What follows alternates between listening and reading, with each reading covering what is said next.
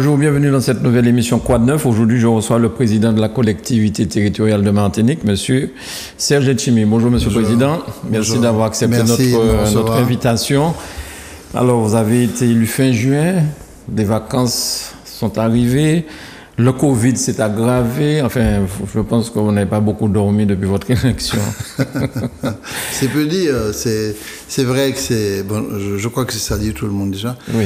Euh, c'est, peu dire. C'est, vraiment deux mois très, très difficiles. Niamboun qui croisait il dit Bon, ça. Où il est au mauvais moment, mon vieux? Parce qu'on est Covid alors, en tout cas, le modèle de bagaille. Et on a vécu euh, deux mois très très difficiles. Il fallait prendre la main au niveau de la collectivité territoriale, installer des équipes politiquement parlant à l'Assemblée. Euh, euh, on, a, on a la chance d'avoir une équipe stable, de, camarades, d'amis, de personnes qui s'apprécient beaucoup mutuellement. Donc j'ai pas eu trop de problèmes. J'ai pas eu de problème du tout d'ailleurs. Et puis il fallait aussi prendre contact avec le personnel. Il y en a 4300. Il y a beaucoup d'institutions parallèles ou spécifiques. Euh, on est autour de 5000 personnes, quoi, en gros, globalement, euh, si c'est pas plus. Et donc il fallait absolument établir le contact de manière très respectueuse, euh, ne pas bousquer qui que ce soit, mais en même temps très, et organiser l'activité. Et puis prendre les premières décisions, mais ça se passe relativement bien. Est-ce que la CTM, c'est le premier employeur martiniquais? Je pense que oui. Il y a l'hôpital, euh, les hôpitaux, le centre hospitalier universitaire après, mais c'est effectivement ça, oui. D'accord. J'avais l'impression qu'il y avait un petit peu moins de l'année dernière, il y avait un peu moins de, de salariés. Ça, ça a comme grossi, non? C'était un chiffre. Euh, ça a monté, ça, ça, a augmenté, oui. D'accord. Euh, bon, on, on, fait avec, mais la situation actuelle est très compliquée, très difficile. Donc ces derniers temps, il y a eu beaucoup de titularisations. Bon, je n'ai pas d'observation particulière à faire, d'autant plus que les bénéficiaires sont là. Et deuxième chose, il y a eu quelques recrutements un peu euh, à, la fin, assez, des décisions euh, préoccupantes. C'est dans ce cadre-là que j'ai réglé le problème. Et puis nous avons attaqué tout de suite l'enjeu financier, puisque l'on y a en locomotive comme ça, il faut faire un état sur la situation financière. Est-ce que vous allez faire un audit? Oui, c'est parti. Il y a un audit euh, budgétaire et financier. Il y a un audit organisationnel. Et nous avons anticipé sur l'audit euh, financier et budgétaire. Et nous avons réalisé une analyse très poussée. D'ailleurs, d'autres instances de l'État sont en train de faire les mêmes analyses que nous. Et nous tombons sur les mêmes conclusions. Un endettement euh, incroyable. Un endettement, ça veut dire qu'il n'y avait pas de matelas financier. Ah oui, non, non, non. Il y avait un emprunt qui n'était pas mobilisé, qui, donnait le sentiment qu'il y avait euh, un résultat positif important. Mais la section de fonctionnement de, l'année précédente est déficitaire de 17 millions d'euros. Euh, et, au, cours des deux dernières années, euh, il y a une mobilisation par l'emprunt de près de 275 millions d'euros lorsqu'on parle de ces chiffres-là, on dit, mais où se trouve l'investissement? Il n'y a pas d'investissement. Et, c'était plutôt pour pouvoir donner des subventions. Qui, ces subventions ont été distribuées au cours de la dernière année avant les élections. Ça paraît assez clair. Donc, le niveau d'endettement aujourd'hui est de 25 ans. On est endetté pour 25 ans. la moyenne à ne pas dépasser, c'est 8 ans. Euh, on, est, on est largement au-delà des 8 ans. Et c'est près de 900 millions d'euros d'emprunts qui, été, qui, existent aujourd'hui, euh, avec une grande partie mobilisée au cours des, des, dernières années. Ce qui fait que les marges de manœuvre sont extrêmement faibles. Il va falloir que je reconstitue les mécanismes qui permettent de retrouver des marges de manœuvre, c'est-à-dire des recettes positives en fonctionnement, avec une capacité d'investissement qu'il faut rapidement retrouver. Autrement, on ne pourra pas réaliser notre plan de relance. Donc on est vraiment dessus nuit et jour pour essayer de redresser. Euh, mais je ne vois que l'avenir. Je n'ai pas envie de m'attarder sur le passé. Euh. Bien sûr. Monsieur le Président, depuis que vous avez pris les rênes de la CTM, vous avez beaucoup entendu parler du Covid, mais aussi beaucoup de personnes décédées. Je crois que dans toutes les familles, il y a, des décès, mais euh, il y a particulièrement quelqu'un qui vous a touché par sa disparition ces jours-ci, c'est Clément Marie. Oui, je sais, je euh, je crois pas que Clément soit parti par Covid. Hein, non, non, non, c'est une longue maladie. c'est une longue maladie. Euh, ça m'a énormément touché, oui. parce que voilà un homme qui a donné pratiquement toute sa vie au sport, mais au sport d'encadrement, de, du bénévolat, de la présence euh, pour les jeunes, pour, pour la vie sportive d'une manière générale. Donc euh, il, était habité par cette passion-là. Il avait vraiment un amour euh, incroyable pour, pour, pour cela. Et, et, ça m'a touché. On a perdu vraiment quelqu'un de très précieux pour la Martinique. Et je veux ici lui rendre hommage et exprimer mes condoléances à la famille. Oui. Et il y a aussi un, un avocat, un avocat martiniquais qui exerçait à Paris aussi, euh, qui est décédé dernièrement, Dominique Anni Chiarico, je crois. Oui, son nom est très italien. je veux lui rendre hommage aussi parce que Dominique est un authentique Martiniquais qui aimait son pays. vraiment, il est décédé, euh, pas de maladie Covid non plus, il avait un certain âge, était malade. Et je, tiens à lui rendre hommage parce que voilà quelqu'un qui, qui a été d'ailleurs euh, fait un peu de politique, il était élu de la ville de Paris, c'est un, très grand avocat du barreau de Paris, très connu par ses confrères d'ailleurs en Martinique et ses consoeurs. Et c'est un ami personnel, c'est un ami aussi de mon ami Fred Augustin qui est décédé aussi, qui est parti. Euh, et Dominique est un amoureux de l'art, et c'est un césérien, je peux me permettre de dire ça, ou un césériste, mais il, il, épousait la pensée de Césaire par, par l'art. Et, euh, et, il avait une, collection assez extraordinaire des textes de Césaire, et il avait cette passion de l'art. Donc Dominique nous a quittés, euh, et je, je rendu hommage, je souhaite lui rendre hommage solennellement euh, par un texte, moi aussi, à l'occasion de cette interview. D'accord, très bien. Alors, pendant votre campagne, vous étiez à ce même micro, vous avez parlé aussi de la bouteille de gaz, puisque les Martiniquais sont impactés par ça. Et euh, là, il y a une augmentation encore pour les jours à venir. Qu'est-ce que vous pouvez dire à nos amis téléspectateurs qui nous écoutent et qui nous regardent? Je suis ça de très près. Euh, il y a un collectif qui est venu nous voir, qui a été reçu par Mme Talibardol, et avec des actions totalement légitimes. On ne peut pas se permettre de passer de, 19-20 euros euh, la bouteille de gaz à 30 euros. On, est proche du 30 euros. On est environ à 28-29 euros la bouteille de gaz. Euh, et ça peut avoir des conséquences graves.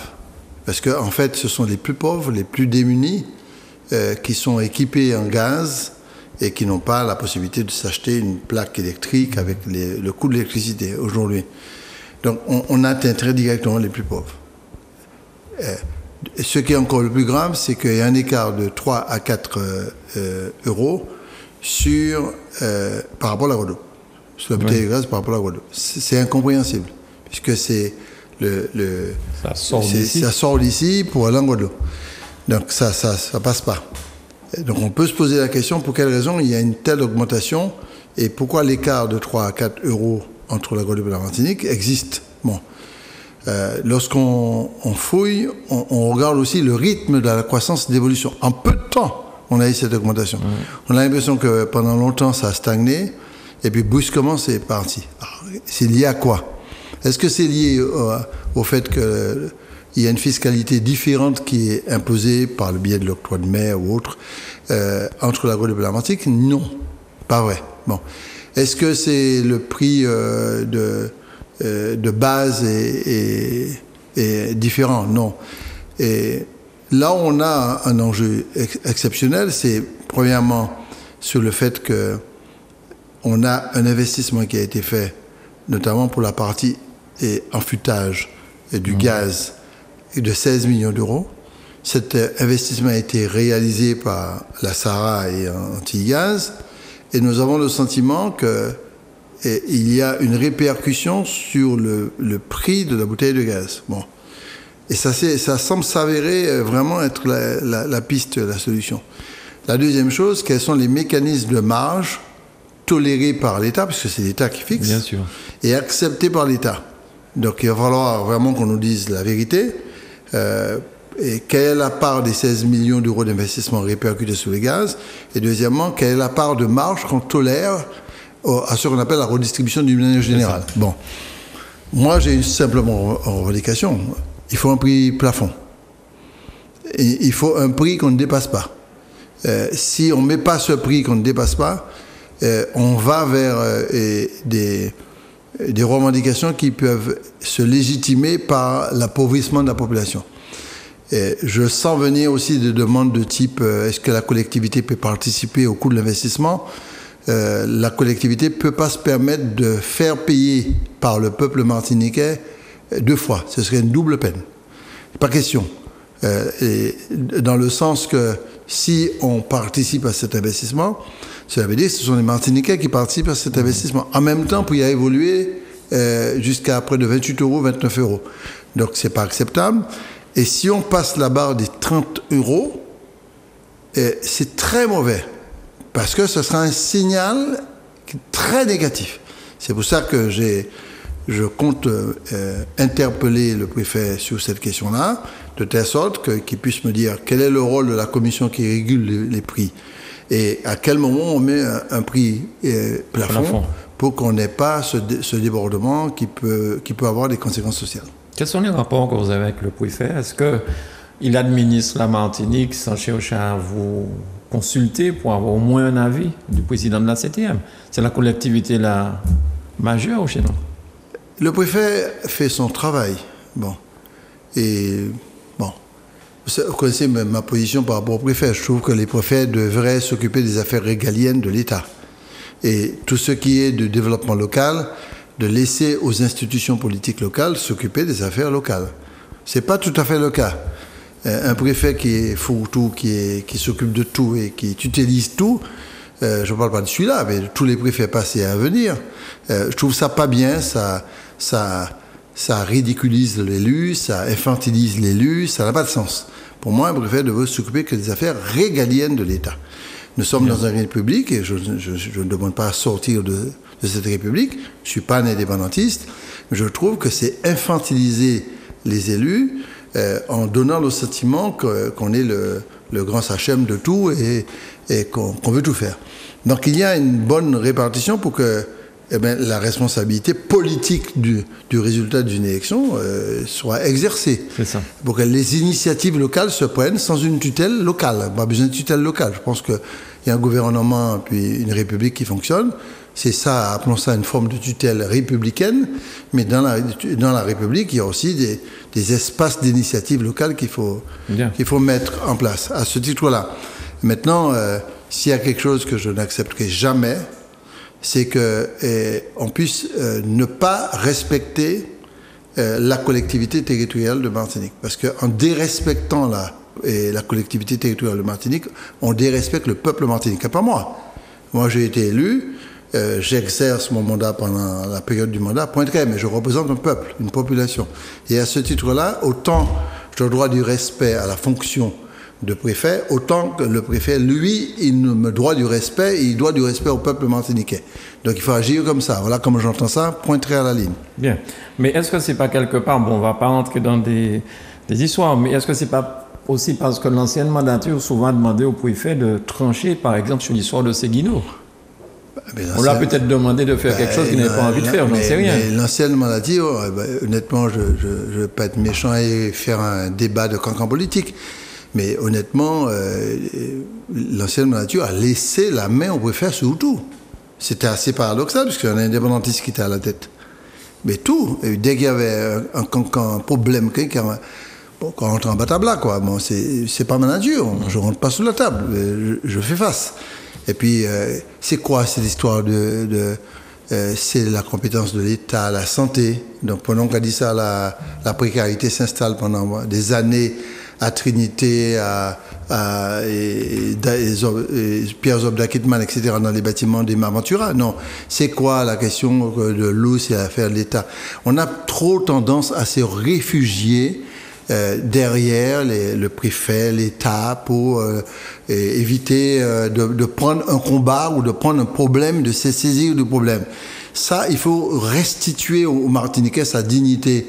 C'est en, en ayant des élus, bien sûr qu'on peut prendre des coups, on peut, on peut, on peut être euh, contredit virulemment, peu, importe, ça fait partie du débat démocratique dès qu'on se respecte. Mais il faut assumer la responsabilité, il ne faut pas se cacher derrière le bon, derrière un préfet comme si c'est le, le, seigneur, et, en même temps on le critique parce qu'il est trop gouverneur, quoi. Bon, il faut les, ces paradoxes-là, il faut les, il faut les éliminer. Et à ce titre-là, je considère qu'il fallait prendre ses, ses, responsabilités, et je prendrai mes responsabilités à chaque, à chaque Alors justement, M. Seguino, est-ce que ça avance un peu Est-ce qu'il y a quelque chose? Ça avance. D'accord. On avait pris un engagement, ça avance, on y travaille beaucoup euh, pour respecter notre engagement. Alors vous avez fait un long séjour, enfin un long. Vous êtes parti peut-être une semaine en, en, France métropolitaine, en France. Vous avez rencontré le Premier ministre, vous avez rencontré le directeur de cabinet de M. Macron, le ministre de l'Outre-mer, Mme Pécresse. Euh, évidemment, oui, je pense, je ne sais pas, j'ai peut-être oublié un ou deux en passant. Est-ce que vous revenez avec votre besace remplie de, de choses signées et des avantages pour nous Martiniquais? Ah, oui. Vous faites deux erreurs. Premièrement, c'est pas la France métropolitaine, c'est la France hexagonale. Oui. La France métropolitaine. que j'ai repris après, j'ai dit la France. Oui, moi, moi, moi, oui, moi, trop pédalé. Moi, oui, trop pédalé. Mais bon, ce lapsus-là, je reprends pas par rapport à, ce que tu dis, mais je, je reprends par rapport aux jeunes. La métropole mmh. n'existe plus. Oui c'est quand il y a métropole, c'est qu'il y a colonie. Donc, on pas en coloniser, la métropole n'existe pas. Bon, pour moi, c'est la France hexagonale. La France, dans sa pluralité, outre-mer plus l'hexagone, c'est la France globale. Bon, ça s'arrête là. Et la deuxième chose, c'est les besaces. Je suis pas parti pour amener de l'argent. Quand on parle de besace, ça veut dire il plein. De contrat. De contrat. contrat. Non, c'est pas ma nature. Je pense que euh, les, ce qui est le plus important pour nous, c'est de ne pas dire qu'on va chercher de l'argent, c'est de dire qu'on va chercher des droits et des possibilités, des capacités de se développer soi-même. D'accord. Pourtant, je suis toujours dans l'article 73. Oui. Hein. On va pas sortir. Hein. C'est-à-dire, la première des libertés, c'est l'intelligence, c'est la liberté d'initiative, la, la, capacité de construire localement. Si je vais demander là-bas à la fois de me cette capacité que j'octroie à l'autre de, me, de, de, de, l'exercer pour moi et lui demander en même temps l'argent, ça va pas. Donc le, mon déplacement, c'est fait sous le label de euh, nous voulons un contrat de partenariat avec l'État pour le développement du pays. Bon. Et vous avez été bien reçu ah, dans bien, tout ça, dans les différents ministères rare, généralement pas ou par attendre Jean Baïta là, quoi. T'as un parti pour moi des qui fiscalité supplémentaire m'a rattrapé, qui subvention m'a rattrapé, qui place ce qu'il et qui trouve m'a rattrapé, etc., etc. Bon, euh, pardonnez-moi, mais c'est un peu ça la réalité. À quel moment on a dit, on veut négocier un contrat de partenariat avec l'État sur le transport, sur le développement économique, sur l'autonomie alimentaire, sur la biodiversité, sur le numérique, sur l'éducation, sur le créole, sur euh, l'art, la culture, la musique, etc., etc., etc. Je n'ai pas dit que je vais négocier avec l'État sur l'indépendance de la Martinique ou pas. Je n'ai pas dit que je vais négocier avec l'État parce que je ne veux plus l'armée là. Je n'ai pas dit que je ne vais pas négocier avec l'État parce que je ne veux plus la fiscalité ou, ou, la, les questions régaliennes liées au budget. Mm. Je n'ai pas dit ça. J'ai dit simplement laisser respirer ces pays-là et donner à ces pays-là une place à l'initiative interne, à leur propre intelligence. Et vous allez constater que, par exemple, sur la question de la production locale agricole, avec Nicaise Monrose, avec euh, et, les autres qui sont présents, euh, nous allons mener des actions qui sont très importantes pour pouvoir arriver à l'autonomie alimentaire. Si on atteint ne serait-ce que 60% d'autonomie alimentaire, ce serait une magnifique victoire. Même si on attrapait 40, 45, ce serait bien. D'avoir un maximum de choses produites ici et qu'on puisse euh, consommer localement ce qu'on a produit. Donc c'est ça le défi, je prends cet exemple-là, c'est ça qu'il faut revendiquer. Donc ce sont d'autres paramètres. Parce que le paramétrage économique est conçu à Paris. C'est-à-dire le paramétrage dépend de la fiscalité qu'on va mettre en œuvre, les paramètres fiscaux, mmh. la défiscalisation, des paramètres réglementaires, des paramètres sociaux, mais qui fait pour l'ensemble de la France. Donc c'est paramétré, on exécute. On est devenu des exécutants sur le plan du développement économique. À quel moment on prend l'initiative du développement économique Sur tous les points que je viens d'expliquer, il y en a plein d'autres encore. C'est pour ça que je considère qu'il fallait absolument faire ce déplacement et rentrer dans une négociation. Mais quand on rentrait dans la négociation, il fallait absolument consulter tout le monde. Donc je n'ai cessé de consulter, je continue, Chambre de commerce, Chambre des métiers, MPI, CGPME, ça s'appelle autrement, mais CPME, etc., pour demander qu'est-ce que vous sentez. Je leur dis la vérité, moi, pas assez rien. Mm -hmm. Moi, pas assez rien. Tout le monde, pour ça, ça m'a dit, ça m'a dit. Qu'est-ce que vous avez pour entrer dans les mutations? Parce qu'on ne va pas tenir le coup si on ne pas dans les mutations, les énergétiques et qu'on sort. Bon, et puis, il y a quand même quelques enjeux essentiels nous perdons 10 000 personnes pendant les. Et on, perd environ 3 000 personnes par an. 3 000 personnes par an. On a perdu 30 000 personnes au cours des, des, des, dernières, années. Ce qui veut dire qu'il va falloir trouver des solutions très fortes. On a un vieillissement de la population, on a une jeunesse qui est en paupérisation totale. Donc on doit absolument proposer des solutions. Je, je prends un exemple précis pour la jeunesse. Je négocie un minimum d'émancipation jeune. On va me dire oui, euh, vous voulez donner de l'argent aux jeunes, c'est pas ça. Parallèlement, l'État français découvre et met en place ce qu'on appelle un contrat d'engagement jeune, qui est la même chose. Mmh. Moi, j'ai initiative et participation, ma créé engagement. Pourquoi pas?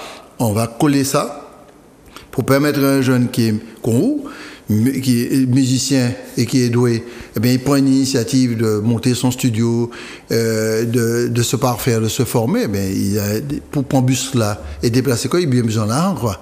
Puis aller, de se cacher puis manger pendant qu'il travaille c'est en fait tenir compte de la situation informelle dans laquelle nous sommes. On est beaucoup dans l'informel, beaucoup créé sans pour cela avoir un cadre, un contrat mmh. précis d'une entreprise. Et à ce moment-là, on peut créer des dynamiques. Je pense que si cette négociation qui doit durer jusqu'à novembre et se poursuit, on peut signer un accord. Ce sera le premier accord de partenariat développement économique local où les idées du développement partent de la Martinique et non pas l'inverse. Très bien. Alors, vous avez créé des groupes euh, de réflexion, le centre de pharmacologie. C'est ça, hein je... Oui, nous, avec, nous avons, euh, voilà, Mais déjà, lors de votre première mandature à la région, avec euh, le, le Préchotin, là, vous, avez, vous, avez, parlé beaucoup de ça déjà. Hein. C'est une idée qui vous tient à cœur depuis longtemps. Ah oui, depuis longtemps. Vous savez, nous n'avons pas battre la main les avec nous. Et 80% de la biodiversité française se trouve dans l'outre-mer. Ou allez, faire musique et puis ça. Hein. 97% des surfaces maritimes de la France se trouvent dans l'outre-mer. Et puis après, bon, je dis ça souvent, mais hmm. et puis ça, et quoi, quel profit on peut tirer si nous-mêmes, on n'a pas les outils de développement pour profiter de ça? Parce que c'est une filière, la biodiversité, hmm. la pharmacopée, les médicaments, et, et, plein de filières encore. Mais si nous pas les outils pour développer, qu'est-ce nous faire on, contemple notre richesse, on est content, on est dans l'esthétique de la beauté de notre nature, et puis pour un trait. Et puis l'autre monde qui a exploité, ben nous, à partir de Paris, de New York, ça n'a pas de sens. Donc le laboratoire de pharmacopée qui a créé comme ça pour l'instant, qu'on veut faire à Montgomery-le-Saint, j'ai décidé de mettre en place un groupe de travail. Ce groupe de travail que j'espère qu'il va dire oui, mais il a déjà pratiquement dit oui, c'est le docteur Nossin. Euh, qui est du pêcheur, qui est pharmacien. Et le docteur Nussin va avoir euh, des gens autour de lui qu'il va choisir pour configurer le centre de pharmacologie. Et à côté de ça, on va développer des filières, comme on a fait pour le café avec euh, Jean Cuisol, qui a fait un super boulot sur l'arabica typica, qui mhm. revient à, l'ordre du jour, comme le cacao, où certains acteurs ont fait un gros travail sur le cacao. Nous allons regarder comment on peut transformer certains de nos produits en produits de beauté en relation avec le parme, de telle sorte qu'on puisse rapidement les tester et ensuite les commercialiser et commencer à produire à partir de notre richesse. Ça, euh, ça commence tout de suite je vais dire le groupe de travail, parce que je vais lancer la consultation pour le programme pour faire le centre de pharmacologie, et parallèlement à ça, on mettra aussi un deuxième groupe de travail sur pied. Alors, ce deuxième groupe de travail avec Ronald Tull, ça concerne le conservatoire, et peut-être aussi, là, c'est moi qui rajoute ma petite dose derrière, peut-être enfin un zénith, une grande salle à la Martinique capable de recevoir un certain nombre de personnes et pouvoir faire des concerts, parce que, Monsieur le Président, quand vous faites venir un artiste international ici, à chaque concert, vous payez une X somme. Bon, si vous avez une seule salle, vous pouvez, en un concert, amortir cet artiste-là. Sinon, vous êtes obligé de faire deux, trois concerts, mais à chaque fois que vous faites un concert, vous payez la somme. Donc, Alors oui, c'est très juste. Alors, il y a... La décision est prise. Hein. Euh, nous avons à la fois des outils qui existent, qu'il ne faut pas ignorer. Et je pense euh, au Grand Carabé. Ouais. C'est à peu près 1000 mounes, il ne faut, pas mhm. ignorer non plus. Il y a l'Atrium. Il ne faut pas ignorer l'Atrium, donc il faut aussi être très vigilant pour les accompagner. On a aussi l'Arena du François, euh, qui, est, qui, est, très très bien comme outil privé. Le seul inconvénient, c'est que c'est à l'extérieur, donc quand il pleut, ça peut être compliqué. Mais il faut tenir compte de ces outils. Mais on a effectivement besoin d'une salle polyvalente de 3 à 5 000 places. La décision est prise. Hein Bien, bonne nouvelle. Euh, la décision est prise. Euh, la seule chose, c'est qu'il faut que je rencontre mon copain, David Zobda. Parce que, bon, le Lamentin avait le même projet sur et Lamentin et Fort-de-France a le même projet, bon, euh, sur, du côté de Dillon. Donc il faut qu'on échange. Mais David, bon, c'est un ami, on va échanger euh, vraiment pour savoir ce qu'on fait, parce qu'il y a un problème de coût. Euh, c'est très important pour moi de, de maîtriser le coût. On m'a pas fait bail qui capacite tout, tout bateau. Et donc ça, c'est la décision est prise. On travaille beaucoup dessus, on, on avance. Et maintenant, le conservatoire. Oui.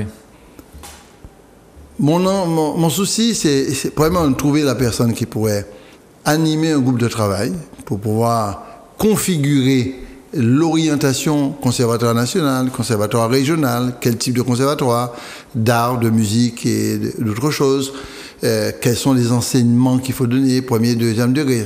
On ne fait pas un conservatoire comme ça pour se faire plaisir. Mmh. Et deuxièmement, on ne fait pas un conservatoire pour que ce soit un conservatoire national et puis que l'authenticité locale de la culture locale soit totalement ignorée. Donc je connais ce type de mmh. débat-là. Donc on doit euh, bien sûr trouver le lieu. On a trouvé le lieu, mais pour l'instant, moi, Kagadi un secret. Et pour éviter, parce que je voulais éviter, éviter d'avoir un bâtiment à construire. Parce que si on fait un bâtiment, c'est dans 4 ans. Mais après, c'est fini dans 4 ans. Bon. Mhm. Donc, moi, pas envie est fini. Et on a le bon Dieu qui est nous. Apparemment, on est en train de faire des études techniques pour voir si on peut l'aménager en conservatoire. Et c'est possible, ce sera possible si on va juger ça rapidement. Mais je ne souhaite pas non plus que ce soit un conservatoire sur un même lieu, un seul lieu. Et je veux aussi que Sainte-Marie profite, Gaumont profite, euh, et le Sud profite.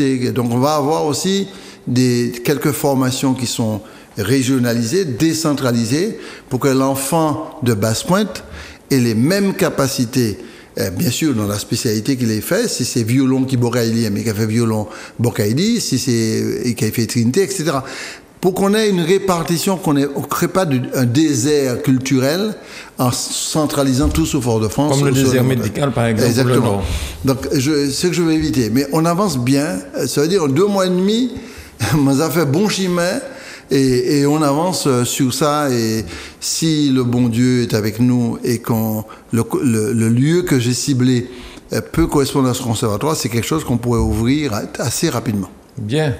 Alors, pendant justement la campagne, vous avez parlé du soutien aux, médias, singulièrement aux télévisions, à Zouk Télévision. Je prêche pour ma paroisse quand je dis ça. Et euh, vous avez avancé sur ce projet, voir comment encadrer ça, si c'est possible euh, rapidement, comme pour le conservatoire? Bon, la première chose, c'est qu'il faut euh, aider les petites télévisions à continuer à, diffuser et les, payer correctement, sans pour cela mettre sur leur fond une étiquette politique et les tuer parce que il a pas bon, il a pas, ça c'est tout ça un peu ignoble, quelle que soit l'option politique de la personne quand on, souffre et on se bat pour avoir une télévision, une radio, il y a souvent, il faut respecter ces gens. Et ça, pour moi, c'est comme ça que je vois les choses. La deuxième chose, c'est que eh, on va ouvrir le débat pour un soutien eh, aux télé et radio. On aura ce débat-là. Je sais que vous avez mhm. ce débat ici, là. Donc je confirme qu'on est sur ça. Eh, pour nous permettre d'asseoir la démocratie. Parce que vous jouez un rôle extrêmement important sur la proximité. Je, je, tiens vraiment que ce soit encouragé, soutenu, entraîné. En fait, vous jouez un rôle de service public aussi. les gens ne voient pas ça, euh, je ne parle pas de, mm. de, la population, je parle euh, de l'État. Il y a un service public qui s'appelle Martinique Première, qu'il faut respecter, mais vous avez aussi un service public, une part de service public, parce que euh, maintenir la cohésion sociale, culturelle d'un peuple, euh, c'est un peu le boulot que vous faites. Je vois les émissions, les gens sont très contents.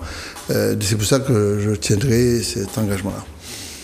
Monsieur le Président, par la suite dans vos démarches, ça c'est quelque chose peut-être qu'il faudrait aussi renégocier avec l'État.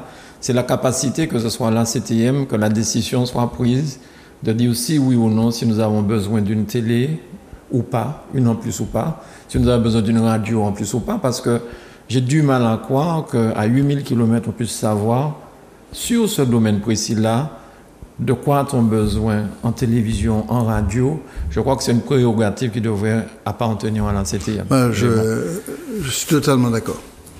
Totalement d'accord. C'est pas 8000 km et d'ailleurs, c'est pas bien.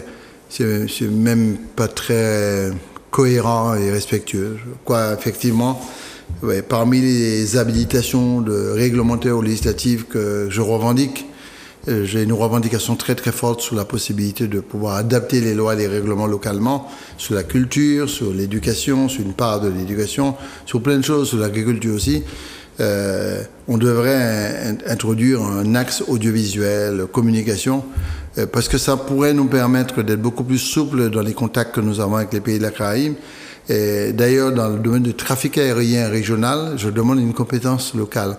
Je propose qu'il y ait une conférence permanente de l'aérien euh, avec des relations pour que les droits de trafic soient toujours accordés par l'État, je ne dis disconviens pas, mais que le poids de l'institution locale et des acteurs locaux soit suffisamment fort, pour qu'on puisse, euh, si on a besoin d'une liaison charter entre Barbade ou pas besoin de Paris pour demander autorisation de là.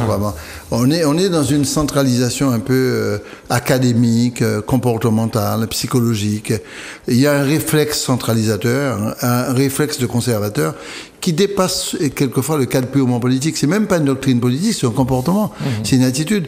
C'est pour ça que je dis tout le temps au cadre de la, la, CTM, le premier rempart de la résistance pour ne pas se faire humilier par l'État, ni l'État local, ni l'État central, c'est vous. C'est-à-dire, vous êtes ingénieur, vous êtes financier, vous êtes administratif, vous êtes technicien. Ne laissez pas un euh, euh, quelqu'un de l'administration de l'État que vous respectez vous prendre pour un, un quoi. Bon, il faut montrer votre capacité, il faut être fier d'être martiniquais, nous sommes dans la France, et je respecte ça, mais il faut montrer que vous avez une capacité de résistance, de proposition et de dépassement. Bien. Alors, concernant le Covid, vous avez initié, je crois, avec les communes, des façons de faire. J'ai vu Madame, Madame la maire de, de Basse-Pointe, enfin, vous avez signé un partenariat, je crois, avec plusieurs communes. Quelles sont les actions euh, pour le Covid, pour aider les gens justement? Alors on a mené beaucoup d'actions parce que j'ai très vite compris qu'il y avait un problème. les, les, discours standards de l'État ne passent pas. Les communications standards un peu académiques, ça passe pas. Et je vois, j'ai vu euh, très rapidement après nos élections en début juillet euh, qu'on allait à la catastrophe. Mmh on a quand même subi une, catastrophe quand même. 600 morts. plus de 600 morts, parce que c'est 600 morts qui a monté toujours. Mais pire que ça, 600 morts en l'hôpital. Oui.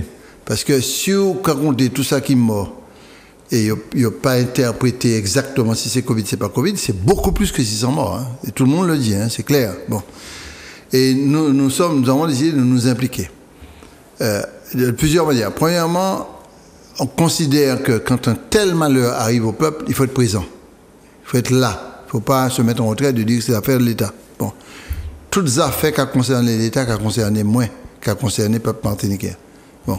Et aussi, euh, tout ce qui passe ici peut concerner l'État, mais ça va concerner nous en premier milieu. Donc on s'est impliqué.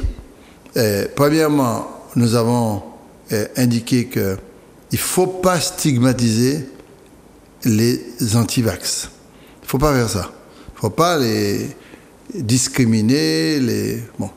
Il y a des gens qui, considèrent euh, légitimement que, bon, c'est comme ça, quoi, ouais, ça, point, point à la ligne. Cependant, moi, je suis pour le vaccin. Et j'ai toujours dit qu'il faut essayer de persuader, expliquer et surtout être très persévérant pour que ceux qui sont dans l'hésitation et qui n'ont pas les bonnes informations puissent se faire vacciner parce que c'est le seul rempart qu'on a. Donc on a mis effectivement des vaccinodromes, appelons ça comme ça, des centres de vaccination à Sainte-Luce. Et j'étais à Sainte-Luce récemment pour ma troisième dose. Et euh, je peux dire clairement que je vois arriver des gens fortement. Nous avons installé aussi à Basse-Pointe. Et les, gens de Basse-Pointe, la, proximité, sont, viennent aussi pour se faire vacciner. Progressivement, ça vient. On aurait aimé que ça aille beaucoup plus vite parce que si on n'augmente pas le nombre de, de, de, personnes vaccinées, on risque une cinquième vague qui peut être très grave et dangereuse. Parce que ça, vous avez vu ce qui se passe en Nouvelle-Calédonie. Mmh. Bon, ça s'est amplifié. La Polynésie a connu une vague comme ça. Donc je crains qu'il y ait une autre vague qui puisse arriver. Avec la rentrée scolaire aussi, monsieur le président. Oui, il faut, il faut vraiment être vigilant. La deuxième chose, c'est que nous avons décidé euh, d'aider, de, soutenir les soignants. On a apporté des repas, trois repas livrés, des jours différents. On a fait jouer des musiciens, des artistes qui ont, qui ont joué pour apaiser, pour se comprendre, se parler. C'est pas à l'occasion d'un problème de santé qu'on va s'entretuer. Mmh. Ça n'a pas de sens. Franchement, euh, il y a d'autres problèmes pour, à affronter, se mettre ensemble que pour un vaccin, on va s'entretuer. Et nous avons aussi euh, décidé de soutenir financièrement le CHU en versant par anticipation des fonds, euh, des fonds européens. Nous avons décidé aussi de contribuer en acceptant que, eh bien que la région Île-de-France, Valérie Pécresse, amène des, des, lits de réanimation. Nous avons aussi beaucoup travaillé euh, pour qu'on puisse rentrer dans un processus de vaccination amplifiée avec le vaccinobus que nous voulons mettre sur pied. Et puis, on a entendu les syndicats, parce que quand je discute les syndicats, ils sont pas d'accord. Ils connaissent moi, ils pas d'accord, pas d'accord, c'est tout. Donc j'explique. Si on démontre que mon tort, ben, ok, mon tort, mon cas vivre les Andia, j'accepte que mon tort, je n'ai pas honte, mais là, et je, considère qu'il y a raison à son point, je leur donne raison et je peux mettre en œuvre. Ce qu'on a fait sur ce qu'on appelle la médecine de ville, hmm. c'est-à-dire la médecine des, quartiers et des bouts et des centres-villes, parce que euh, les syndicats disaient toujours il faut absolument activer autrement la médecine de ville pour qu'on puisse euh, toucher les familles, pour empêcher que les gens descendent dans les hôpitaux et saturent les hôpitaux, notamment la première phase d'entrée, des mhm. urgences. Avant, il y aurait en réanimation. Donc, il fallait activer puissamment la médecine de ville, ce qu'on a décidé de faire avec un programme qu'on a appelé Tchambé nous là, tiens bon, on est là, et on travaille avec les CCAS, on signe une convention avec chaque maire, ça fait dixième convention qu'on signe avec des sous 34 maires pour leur donner des moyens financiers pour acheter des oxymètres, euh, pour organiser l'oxygénation des personnes qui, sont en difficulté mais qui n'ont pas besoin d'aller en réanimation, pour soutenir les familles qui sont en difficulté parce que là on y a deux, trois qui mourent dans la même famille On a un cas de, de monsieur, de, il y avait quatre personnes dans la maison, trois morts par le Covid. Et puis celui qui est resté vivant à 95 ans, il faut qu'il s'en occupe. Donc les portages de repas, l'accompagnement psychologique des malades, c'est très très important. L'organisation même des réseaux de santé dans la commune pour qu'on soit très efficace pour accepter, trouver des solutions qui soient pérennes. On a mené ce travail-là et ce travail-là, c'est 180 000 euros qu'on va dépenser pour les 34 communes, pour les aider. On leur fournit même un emploi jeune et cet emploi jeune pour fédérer un peu, pour avoir un point de contact euh, dans le CSAS, euh, pour être en contact avec les gens. Et eh bien voilà, c'est tout ce travail qui est fait. Ça va nous permettre, euh, bien sûr, d'être au contact à proximité avec les familles par rapport à des besoins qui sont des besoins humains. on n'est pas là pour remplacer qui que ce soit. Et, et, en même temps, pouvoir discuter et dialoguer. Bien.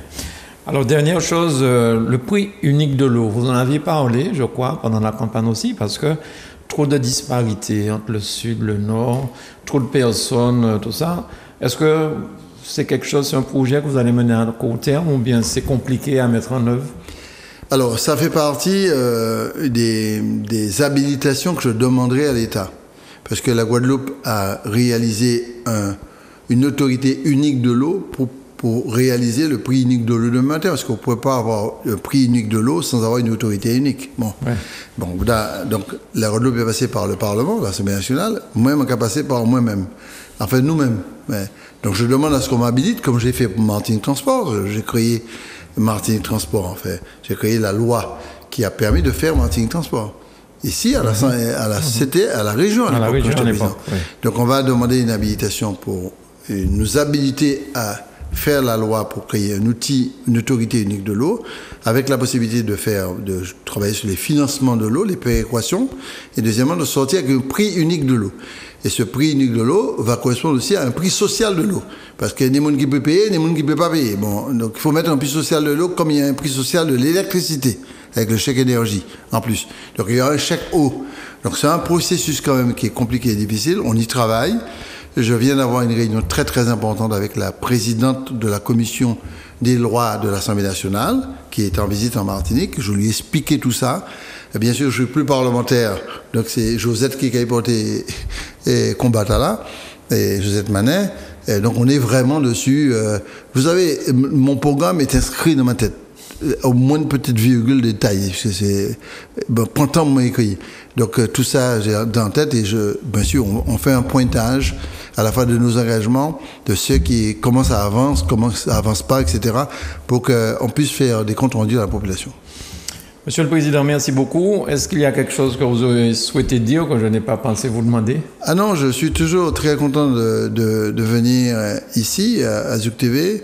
Euh, je m'y sens très bien. les questions sont fluides euh, et techniques, en même temps accessibles. Et puis, euh, je pense que la population, il faut avoir un langage clair, net, euh, propre, pas, sans, sans, trop fioriture. Et j'aime bien ces, échanges-là sur un, un, temps qui est relativement court, mais, mais quand même assez long.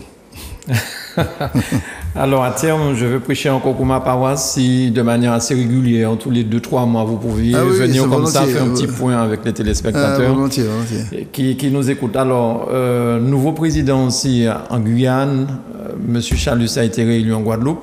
Est-ce que vous vous êtes déjà rencontrés? Est-ce que vous avez des choses en commun à gérer rapidement pour, pour les trois départements? Oui, on s'est, on s'est, eu au téléphone. Euh, ce sont des amis que j'ai siégé avec Serville pendant un moment, avec Harry pendant d'autres moments. Et on a prévu de se rencontrer. C'est en train de s'organiser par les cabinets.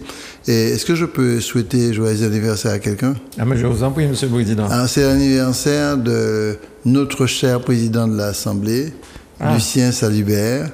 Ah, je dis ça, c'est ça tout à fait vrai, mais mon rapport c'est mon dit ça, pas menti. Euh, joyeux anniversaire, cher Lucien. Je sais que tu as 94 ans. Euh, non, je rigole beaucoup avec lui. Euh, peu importe ton âge, mais tu restes toujours aussi jeune. Tu sais que Lucien Falibert était footballeur. J'ai appris ça, j'ai appris ah ça en regardant ça. Il avait, du, il avait du mal avec moi quand je jouais contre lui au de lequin. Euh, lui et ses frères, ils étaient pas, ils n'arrivaient pas à tenir, ils essayaient de me tenir le, maillot, ils n'arrivaient pas trop. Donc joyeux anniversaire, je t'embrasse, à bientôt.